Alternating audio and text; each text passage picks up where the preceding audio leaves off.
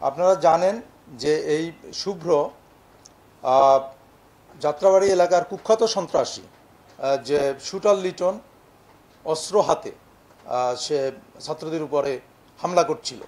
আমাদের একটি আভিযানিক দল যাত্রাবাড়ি থানার বিবির বাগিচা এলাকার থেকে বৈষম্য বিরোধী ছাত্র জনতার উপর হামলা চালানো হেলমেট বাহিনীর অন্যতম সদস্য, মোহাম্মদ মনিরুল মোশারফ ওরফে শুভ্রকে আমরা দেশীয় অস্ত্রশস্ত্র সহ গ্রেপ্তার করেছি।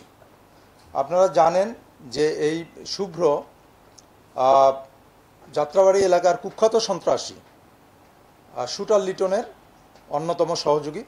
আমরা তাকে বিবির বাগিচা এলাকার তার শ্বশুর বাড়ির থেকে আমরা গ্রেপ্তার করেছি এবং তার সেই বাসার টেলিভিশনের যে ক্যাবিনেট ছিল তার ভিতরে এই দেশীয় অস্ত্র এবং তার হকি স্টিক, হেলমেট তারপরে লোহার রড ছিল, এগুলি ওখানে লুকানো ছিল এবং সে নিজেই তার দেখানো মতে আমরা সেগুলি উদ্ধার করেছি।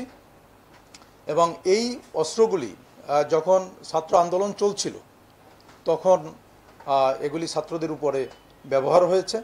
এবং আপনারা এটাও দেখেছেন বিভিন্ন ভিডিও ফুটেজে যে শুটার লিটন অস্ত্র হাতে। এই এই ফুটেজ কিন্তু আপনাদের সবাই দেখেছেন আপনারা যে অস্ত্র হাতে সে ছাত্রদের উপরে হামলা করছিল। তো সেই শুটার লিটনের অন্যতম সহযোগী হলো এই মনিরুল ইসলাম মোশারফ তো তাকে আমরা, আপনারা অস্ত্রগুলি দেখেছেন। সেখানে অনেক দেশীয় অস্ত্রশস্ত্র আছে এবং তার বিরুদ্ধে আমরা মামলা করেছি এবং অস্ত্র আইনে মামলা করেছি এবং তাকে আমরা রিমান্ডও এনেছি। যেহেতু আমরা আগে একটু ধরেছি আইনের বাধ্যবাধকতা ছিল আদালতে প্রডিউস করার যার জন্য আমরা আদালতে প্রডিউস করে তাকে আমরা রিমান্ড চেয়েছি এবং আদালত আমাদের রিমান্ড মঞ্জুর করেছেন।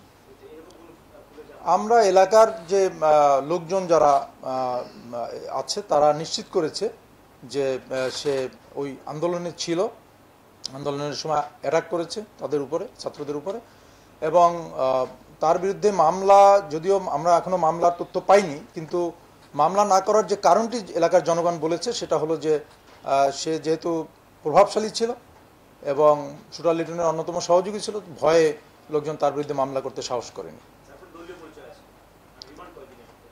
দুই দিনের রিমান্ড মঞ্জুর করা হয়েছে। আর দলীয় পরিচয়, আসলে আমরা যারা সন্ত্রাসী, তাদেরকে আমরা সন্ত্রাসী হিসেবেই দেখি। আমরা আসলে দলীয় পরিচয়টা খুঁজতেও যাই না। আর আমার মনে হয় যে এটা খুব জরুরিও না।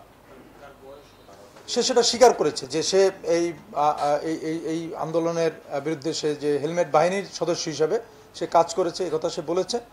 এবং আরেকটা বিষয় হলো যে তার নিজের দেখানো মতে এই অস্ত্রগুলি আমরা উদ্ধার করেছি।